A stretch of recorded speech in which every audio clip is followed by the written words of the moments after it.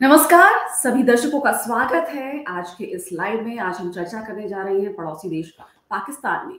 पूर्व प्रधानमंत्री पाकिस्तान के इमरान खान की गिरफ्तारी के बाद जिस तरह के हालात बन रहे हैं, पाकिस्तान में लोगों का सड़कों पर गुस्सा दिख रहा है जिस तरह से आगजनी की घटनाएँ और अस्थिरता और साथ ही अगर रीजन की बात करें तो पाकिस्तान में जो हालात बन रहे हैं उसका पूरे रीजन पर क्या असर होगा? इसमें चीन की क्या भूमिका हो सकती है? अमेरिका की क्या भूमिका हो सकती है? भारत इस पर नज़र बनाए हुए पूरे हालात पर। और अगर जो एक संभावना जताई जा रही है कि अगर सत्ता में सेना वापस लौटती है अगर सत्ता पर कब्जा करती है पाकिस्तान की आर्मी तो किस तरह के हालात बनेंगे? कितनी संभावनाएँ हैं? कई कंस्पिरेसी थ्योरीज इस पर इस वक्त चल रही है कि क्या इमरान खान को किस तरह का खतरा है जिस तरह से उनकी गिरफ्तारी की गई है रेंजर्स से। तो इस सभी पर चर्चा करने के लिए हमारे साथ मौजूद है एम्बेसडर अशोक सज्जनहार स्वागत है आपका एम्बेसडर अशोक सज्जनहार इस चर्चा में। धन्यवाद, शुक्रिया। तो एम्बेसडर अशोक सज्जनहार आप इस पूरे घटनाक्रम को किस तरह से देखते हैं? आई थिंक मैं तो समझता हूँ बहुत ही अप्रत्याशित है, बहुत ही अनएक्सपेक्टेड था, और जो कुछ भी हुआ है बड़ा ही अनप्रेसिडेंटेड हुआ है। देखिए, दो चीज़ें हैं इसमें।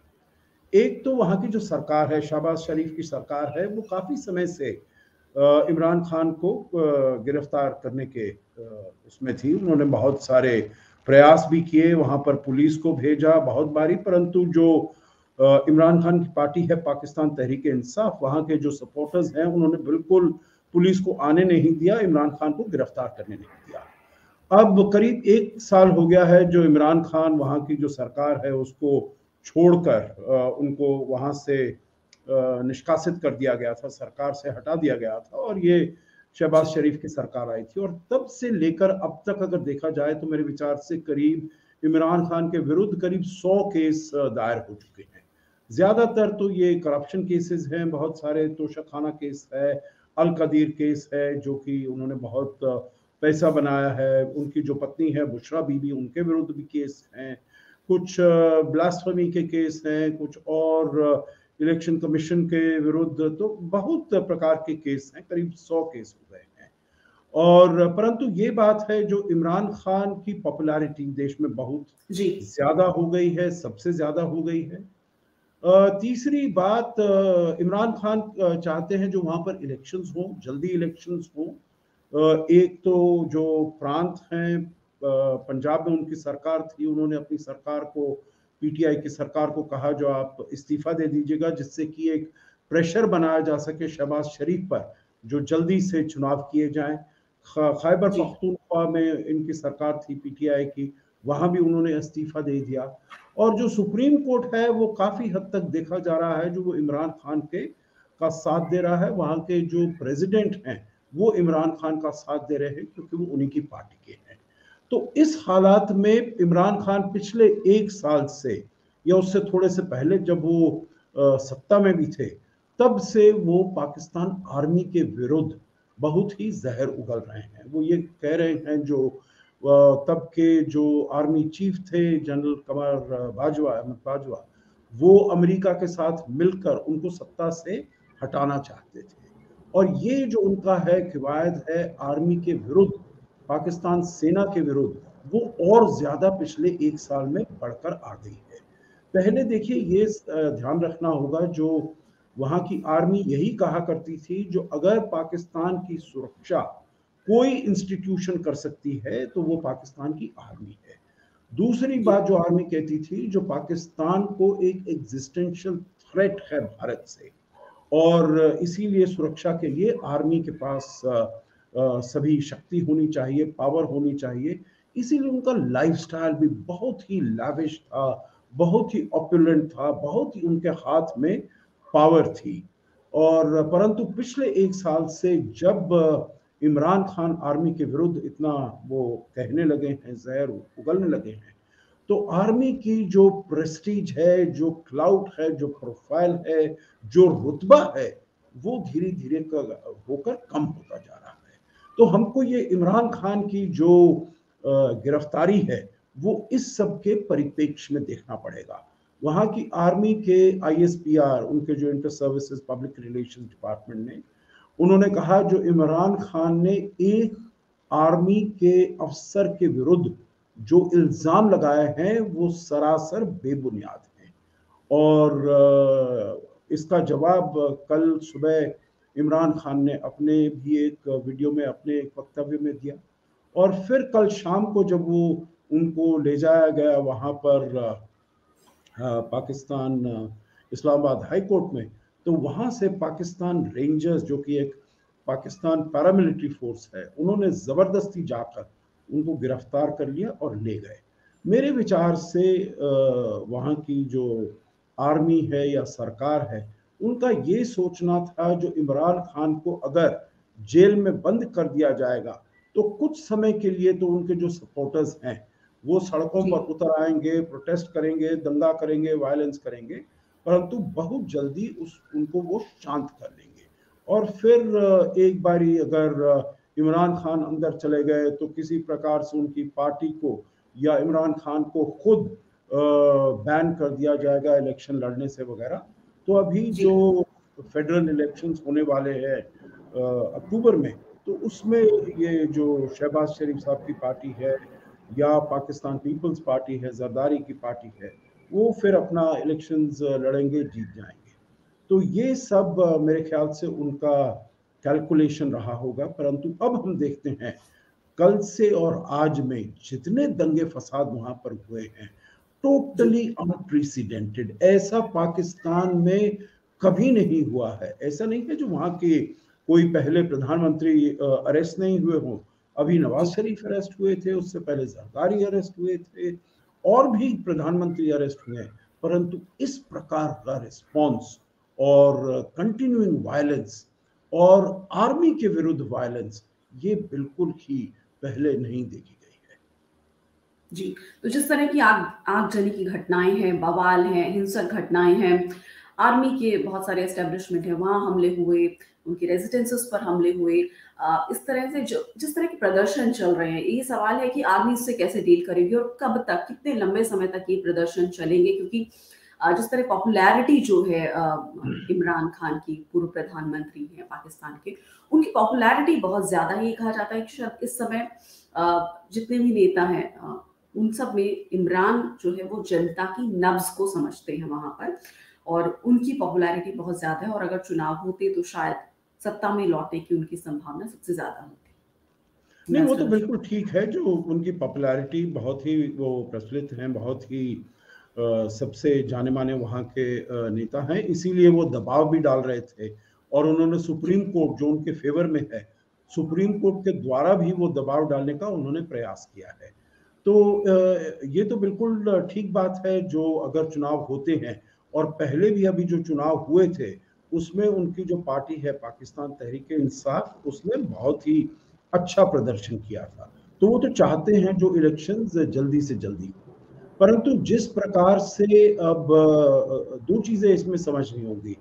एक तो क्या जो लोग प्रदर्शन कर रहे हैं क्या ये केवल उनकी पार्टी के हैं पाकिस्तान तहरीक इंसाफ है या ये आम जनता भी है या ये आम आवाम भी है? क्योंकि ये समझना पड़ेगा जो वहाँ की पाकिस्तान के जो हालात हैं बहुत ही खराब हो गए हैं। वहाँ पर इन्फ्लेशन इतनी बढ़ रही है वहाँ पर चीज़ें नहीं मिल रही हैं आटा नहीं मिल रहा है।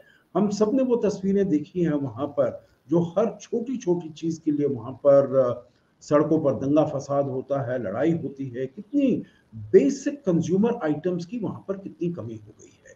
तो इसीलिए इमरान खान के साथ भी लोग इतने ज़्यादा मेरे विचार से आ गए हैं क्योंकि वो देख रहे हैं, जो सरकार उनके लिए कुछ भी नहीं कर पा रही है। और इस सरकार को एक साल में ये नहीं कि जो हालात इससे पहले कोई बेहतर थे या अच्छे थे, परंतु इस सरकार के आने के बाद, शहबाज शरीफ के आने के बाद तो वहाँ के हालात और भी खराब हो गए हैं।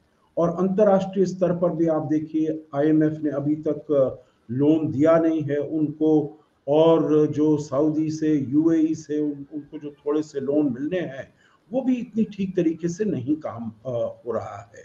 तो इसीलिए मुझे तो ऐसा प्रतीत होता है जो कुछ लोग तो हैं जो यकीनन इमरान खान की पार्टी के हैं और कुछ जो है आम जनता भी आकर मिल गई है, क्योंकि वो भी कह रहे हैं जो what do we have to lose और हमें सरकार के विरुद्ध हमें काम करना चाहिए जिससे कि अगर इमरान खान आ जाते हैं वापस सत्ता में तो शायद वो कुछ ही be able to do something different दूसरी बात है जो जिस प्रकार से वहाँ पर रावलपिंडी में जीएचक्यू जनरल हेडक्वार्टर्स में अटैक हुआ है और वहाँ से कोई सिक्योरिटी कोई ऑपोजिशन नहीं दिखाई दिया है अपने को प्रोटेक्ट करने के लिए। और वहाँ पर लाहौर में कोर कमांडर के घर पर पर्सनल हाउस में वहाँ पर चले गए हैं वहाँ पर तोड़फोड़ किया है आगजनी की है उसको जला दिया है। उसको प्रोटेक्ट करने के लिए भी कोई नहीं वहाँ पर ज़्यादा फौज नहीं थी या लॉ एनफोर्समेंट नहीं थी।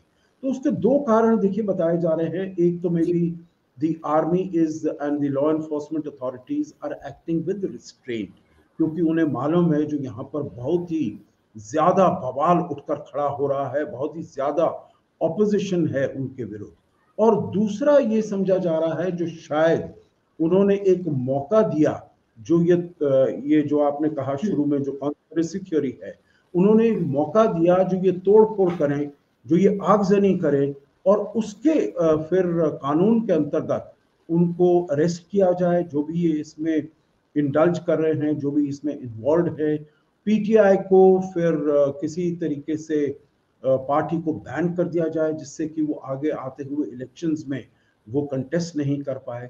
तो ये बड़ी कंस्पिरेसी थ्योरीज भी हो रही हैं, परंतु ये बिल्कुल ही ऐसा जैसे मैंने कहा, अप्रत्याशित है जो कोई पाकिस्तान में वहाँ की आर्मी के विरुद्ध, और ये केवल ना इस्लामाबाद और लाहौर में नहीं हो रहा है, ये पेशावर में हो रहा है, ये कराची में हो रहा है, मुल्तान में हो रहा है, गुजरावाला में हो रहा है, सब जगह हो रहा है ये।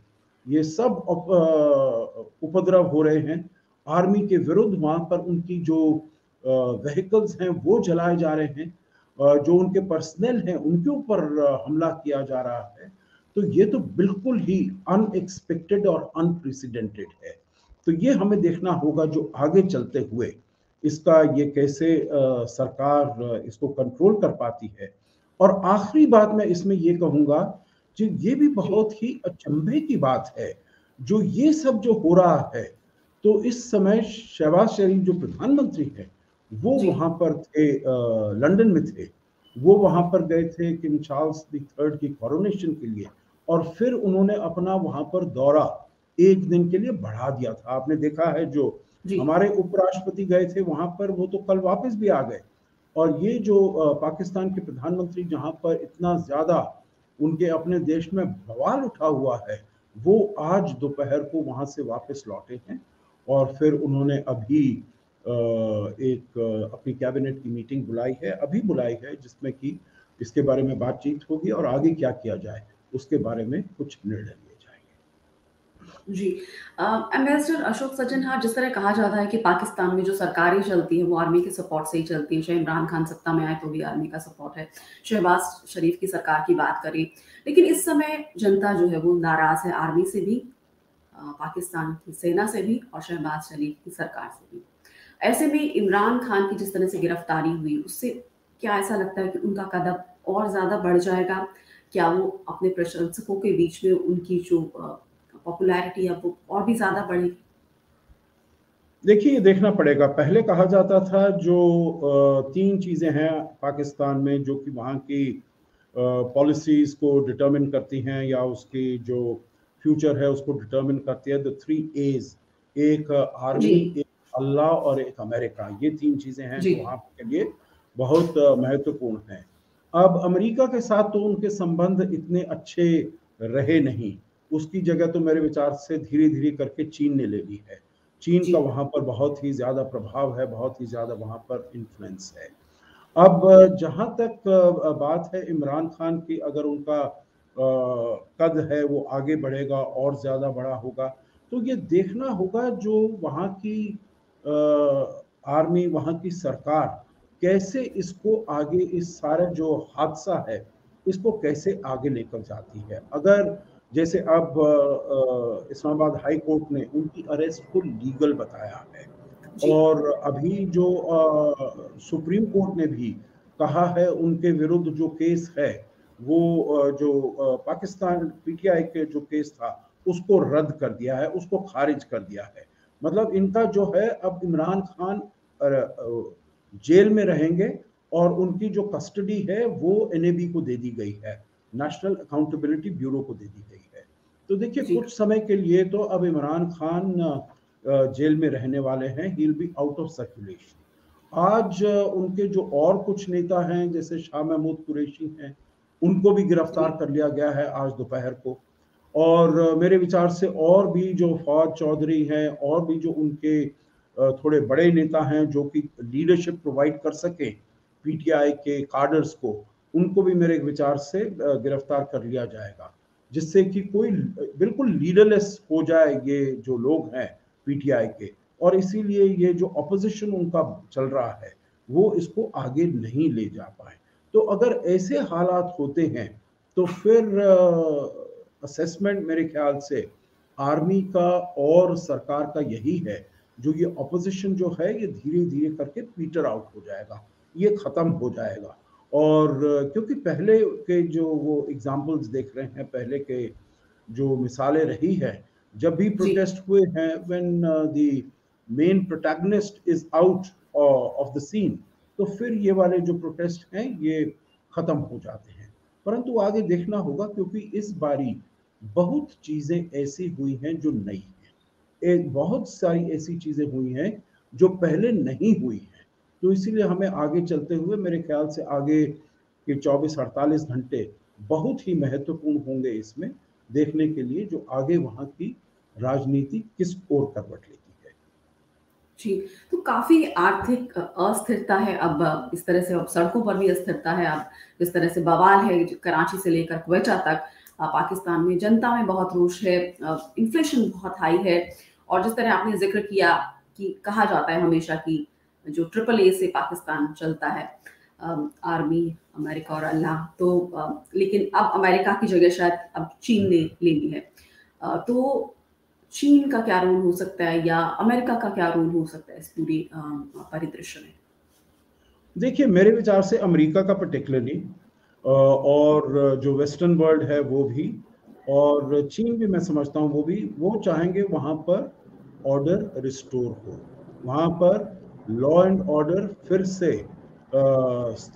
उसकी स्थिति वापस हो, और ये जो आगजनी हो रही है और तस्वीरें हम सबने देखी हैं, बहुत ही भयावह तस्वीरें हैं वहाँ पर। कितना ज़्यादा वहाँ पर जा माल का नुकसान हो रहा है। आज तो खबर है जो करीब ऑफिशियल फिगर्स जो दिए जा रहे हैं वो है जो करीब पंद्रह लोग मारे गए हैं। वो कहाँ से हैं? दो लोग खैबर पख्तूनख्वा से मारे गए हैं बलूचिस्तान में भी कुछ लोग मारे गए हैं। तो वहाँ की स्थिति कैसी बनती है? ये तो सबके लिए बहुत ही चिंता का विषय है और सभी देश चाहेंगे भारत भी चाहेगा जो वहाँ पर स्थिरता कायम हो। परंतु ऐसा लग रहा है जो सिविल वॉर के कगार पर आकर खड़ा हो गया है पाकिस्तान। और या तो मार्शल लॉ लगेगा, या तो मैंने कुछ पाकिस्तानी अपने जानने वालों से बात की है। वो कहते हैं जो पाकिस्तान डिसइंटीग्रेशन की छोर पर खड़ा है। वहाँ पर अलग अलग जैसे बलूचिस्तान हुआ, सिंध हुआ, खैबर पख्तूनख्वा पंजाब, ये अलग अलग भी हो सकते हैं। वो नज़ारा वही देख रहे हैं जो कि उन्नीस सौ इकहत्तर में, दिसंबर में ईस्ट पाकिस्तान और बांग्लादेश में हुआ था। हालात वो देख रहे हैं, वही जो शेख मुजीबुर रहमान बहुत ही पॉपुलर लीडर थे, उनको बंद कर दिया गया और यहाँ भी इमरान खान बड़े पॉपुलर लीडर हैं, उनको भी जेल में डाल दिया गया है। तो मतलब कुछ भी हो सकता है डिसइंटीग्रेशन हो सकता है और मार्शल लॉ आ सकता है। परंतु अगर मार्शल लॉ आता है पूर्णिमा जी तो मैं यही कहूँगा जो। इस बारी आर्मी के लिए इतना आसान नहीं होने वाला है। हमेशा जब भी आर्मी कंट्रोल लेती है अपने हाथ में उसके लिए बहुत ही आसानी से हो जाता है because people are used to army taking over अब पिछहत्तर अठहत्तर साल पिछहत्तर साल हो गए हैं पाकिस्तान की आज़ादी के। अभी तक एक वहाँ की इलेक्टेड गवर्नमेंट ने अपना पूरा पाँच साल का टेन्योर पूरा नहीं किया है। ये हालात है वहाँ पर। हमेशा उनको आर्मी द्वारा हटा दिया जाता है। So the people are used to it परंतु इस बारी ऐसा लग रहा है क्योंकि लोग सड़कों पर उतर आए हैं और ऐसी उनके ऐसे हालात हैं, ऐसी उन कार्रवाई कर रहे हैं। इतनी प्रोटेस्ट वायलेंट प्रोटेस्ट हो रहे हैं। जो इस बारी आर्मी के लिए आसान नहीं होगा ऑर्डर को रीस्टैब्लिश करना। जी आ, पाकिस्तान की आर्मी के लिए अब ये बड़ी चुनौती होगी जो हालात पाकिस्तान में आप बन रहे हैं। और आपने एक बड़ी बात की कि डिसइंटीग्रेशन की स्थिति की तरफ़ भी जाता हुआ दिख रहा है पाकिस्तान यानी कि अलग थलग हो सकते हैं उसके कई प्रांत। तो अगर हम बात करें रिलीजियस एक्सट्रीमिस्ट ग्रुप जो है ये भी आशंका जताई जा रही है कि वो भी एक्टिव हो सकते हैं। रीजन के लिए वो भी खतरा बन सकते हैं। जी, आप ठीक कह रहे हैं। देखिए religious extremist groups fundamentalist groups they are always a threat to the security of the region वो तो है। परंतु दो चीज़ें हैं इसमें। एक तो है ऐसे एक्सट्रीमिस्ट ग्रुप जैसे तहरीक तालिबान, पाकिस्तान लश्कर जंगवी वगैरह, जो कि पाकिस्तान की इस्टेब्लिशमेंट और आर्मी के विरुद्ध काम करते हैं, जो कि वहाँ से अफ़गानिस्तान में उनकी बेसिस हैं, वहाँ से वो अटैक करते हैं। And they have been quite effective पिछले कुछ महीनों में जब से अफगान तालिबान ने वहाँ पर काबुल में अपना कंट्रोल किया है तो तब से टीटीपी ने बहुत ऐसे अटैक्स किए हैं पाकिस्तान की सरकार के विरुद्ध। चाइना के जो वर्कर्स हैं जो चाइना पाकिस्तान इकोनॉमिक कॉरिडोर में वो जो शामिल हैं उनके विरुद्ध। बलो बलोच बलोचिस्तान लिबरेशन आर्मी वो भी पाकिस्तान की आ, आर्मी के विरुद्ध और सरकार के विरुद्ध काम करते रहे हैं। कुछ ऐसे ग्रुप हैं जो कि पाकिस्तान ने खुद, पाकिस्तान की आर्मी और आईएसआई ने, उन्होंने खुद उनको पाल पोस कर बड़ा किया है जो जब इनको हम प्रयोग करना चाहेंगे भारत के विरुद्ध और वो करते रहे हैं। जैसे अभी भी चाहे वो रजौरी में अटैक हुआ हो जिसमें हमारे पाँच सैनिक शहीद हो गए पाँच मई को, उससे बीस दिन पहले, पुंछ में ऐसा आतंकवादी हमला हुआ है। ये सभी जो गुट थे, ये जैश मोहम्मद के वो हैं सब्सिडरी ग्रुप्स हैं। तो ये वाले कुछ ग्रुप्स हैं जो कि पाकिस्तान आर्मी और आईएसआई उनको वो संभाल कर रखता है। तो इनको भी अनलीश कर सकता है पाकिस्तान की जो आर्मी है, भारत के विरुद्ध, जिसके, जिससे कि यहाँ पर अगर कोई ऐसा वो हादसा करते हैं, कोई कारनामा करते हैं तो कुछ वो देखेंगे अपनी जनता की अटेंशन को डाइवर्ट करने के लिए जो। भारत से अगर कुछ इसका रिस्पांस आता है तो वहाँ की आर्मी ये भी कह सकती है जो अब हमारा जो देश है वो खतरे में है भारत से खतरे में है तो हम पूरे देश को साथ में मिलकर इस जो थ्रेट का है इसका हमको सामना करना चाहिए। तो कुछ ऐसा भी वो करने का प्रयास कर सकते हैं इसीलिए भारत को तो बहुत ही चौकन्ना रहना पड़ेगा, भारत को बहुत ही इसके बारे में सतर्क रहना पड़ेगा, जो वहाँ से किसी भी प्रकार का कोई ये टेररिस्ट अटैक अगर आता है, उसको फॉयल कर दिया जाए। एक तो वहाँ पर हालात ऐसे खराब हैं। दूसरा, भारत के पास अभी जी ट्वेंटी की प्रेसिडेंसी है एस की प्रेसिडेंसी है, और हम नहीं चाहते जो कोई ऐसा अनटूवर्ड इंसिडेंट हमारे देश में किसी भी जगह पर हो तो इसीलिए हमको अपनी जो सतर्कता है, उसको और बहुत ज़्यादा बढ़ानी होगी। जी तो पाकिस्तान की आर्मी कई हथकंडे अपना सकती है इस पूरी स्थिति को देखते हुए और ऐसे में अगर हम वापस पॉलिटिकल सिचुएशन पर आना चाहें और जिस तरह आपने ज़िक्र किया कि जब शहबाज शरीफ लंदन गए तो वो नवाज़ शरीफ से मिलकर आए हैं और ये भी कहा जा रहा है कि अंडरस्टैंडिंग बन गई है पाकिस्तान आर्मी और नवाज़ शरीफ के बीच में। एक तरह से एक तरफ़ एक पूरी कोशिश है कि इमरान खान उनकी पार्टी और उनके बड़े नेता को सबको जेल के अंदर डाल दिया जाए और उनको पूरी तरह से उनको लीडरलेस कर दिया जाए। उनकी बढ़ती पॉपुलैरिटी को देखते। तो पॉलिटिकल हालात किस तरफ़ बढ़ते हुए दिखाई दे रहे हैं? क्योंकि पाकिस्तान की आर्मी का जिसको सपोर्ट मिलता है या जो पाकिस्तान की आर्मी के पसंद का होता है, वही सत्ता में आता है पाकिस्तान में। जी, अभी तक तो हालात यही थे, यही मैंने कहा जो अभी तक हालात ये थे, परंतु आगे क्या होने वाला है? वो इस पर निर्भर होगा जो ये प्रोटेस्ट वगैरह हैं, ये कंट्रोल हो जाते हैं या कंटिन्यू करते हैं। परंतु मैं समझता हूँ, यही वहाँ के लोगों के समझ में आ रहा है जो इस्टेब्लिशमेंट और आर्मी दोनों both of them are on the same page और दोनों इमरान खान के विरुद्ध हैं, क्योंकि दोनों के लिए इमरान खान की जो पॉपुलैरिटी है that is a threat to their existence वो दोनों के विरुद्ध इमरान खान बोलते रहे हैं।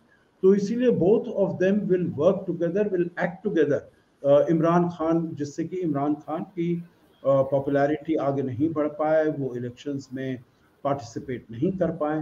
तो इसीलिए अब आगे चलते हुए तो बहुत ही अनसर्टिनिटी का माहौल है, क्योंकि इस बारी पाकिस्तान उस मुकाम पर पहुँचा है जहाँ पर पहले कभी नहीं था। तो इसीलिए आगे क्या होता है, क्या होने वाला है वो अब देखना होगा। हालाँकि पाकिस्तान बहुत ही मुश्किल मंजर से पहले भी गुजरा है, परंतु आज के हालात मेरे विचार से पिछले 50-60 साल के अगर हालातों को देखा जाए तो उससे बिल्कुल ही अलग है। तो इसीलिए I think we'll have to wait and watch and see Bharat को जैसे मैंने कहा, बिल्कुल सतर्क रहना पड़ेगा। एक और मुद्दा जो जिसके बारे में हम थोड़ा सा एक छोटी टिप्पणी मैं कर सकता हूँ वो है जो Pakistan is also nuclear weapon state उसके पास न्यूक्लियर वेपन्स हैं और उसकी सिक्योरिटी भी बहुत ही अहम है जो ये ना हो जो वो कहीं किसी टेररिस्ट के हाथ में पड़ जाए। तो ये सब तो पहले बातें हो चुकी हैं अमेरिका और पाकिस्तान की जो एडमिनिस्ट्रेशन है उनकी जो सिक्योरिटी है सेफ्टी है, उसके ऊपर काफ़ी उन्होंने ध्यान दिया हुआ है। परंतु फिर भी इसको इस समय अंडरलाइन करने की एम्फोसाइज करने की आवश्यकता है, जो ये भी एक बहुत बड़ा रिस्क और थ्रेट हो सकता है, जिसके लिए ये नहीं है जो तैयार रहना चाहिए, परंतु ये जिस भी इंटरनेशनल ऑर्गेनाइजेशंस या पावर्स हैं वो मिलकर उनको ये काम करना चाहिए जो इस थ्रेट को पूरी तरीके से कंट्रोल किया जाए। जी तो बहुत अस्थिरता का, अनिश्चितता का माहौल है पाकिस्तान में। आर्थिक स्थिति तो बदतर हो ही चुकी है काफ़ी। और साथ ही अब जिस तरह राजनीतिक हालात बन रहे हैं और जिस तरह सड़कों पर लोग हैं, जनता में जो आक्रोश है, जनता में जो रोष है और जिस तरह पहले कभी नहीं देखा गया आर्मी के खिलाफ नारेबाजी होती हुई और जो और जो खतरा जिस तरह आप बता रहे हैं कि कहीं ना कहीं ये जो न्यूक्लियर वेपन का स्टेट है न्यूक्लियर वेपन्स है पाकिस्तान के पास, वो कहीं आतंकवादियों के हाथ ना लग जाए, कहीं गलत हाथों में ना पड़ जाए, उनकी सुरक्षा को लेकर भी इस रीजन में एक तरह से सब नज़र बनाए हुए हैं, सभी देश इस रीजन के और दुनिया भर के देश इस पर नज़र बनाए हुए हैं, भारत इस पर नज़र बनाए हुए है कि किस तरह से हालात बदल रहे हैं तेज़ी से पाकिस्तान में। आपके कंक्लूडिंग कमेंट नहीं बस ये जो कुछ हो रहा है, बहुत ही तेज़ी से हुआ है, बहुत ही जल्दी हुआ है। अभी करीब कल तीन बजे दोपहर को इमरान खान को गिरफ़्तार किया गया। अभी करीब छब्बीस, सत्ताईस घंटे हुए हैं, परंतु पाकिस्तान का जो अंदरूनी नक्शा है, एकदम बिल्कुल ही बदलता हुआ नज़र आ रहा है। So we have to keep watching keep a close watch on what is happening in Pakistan and make sure जो हमारी अपनी सिक्योरिटी सेफ्टी स्टेबिलिटी पर कोई इसका दुष्प्रभाव नहीं पड़ता है मुझे पूरा कॉन्फिडेंस है जो are Uh, uh, security forces and our leadership is uh, well equipped with whatever needs to तो भारत को नज़र बनाए रखनी होगी पूरे हालात पर भारत नज़र बनाए रखे हुए है और सावधानी बरतनी होगी अपने बॉर्डर्स पर भी, जिस तरह से हालात बदल रहे हैं तेज़ी से पाकिस्तान में। बहुत बहुत शुक्रिया एम्बेसडर अशोक सचिनहार हमसे बातचीत करने के लिए और पाकिस्तान के हालात पर विस्तार से चर्चा करने के लिए। धन्यवाद। धन्यवाद।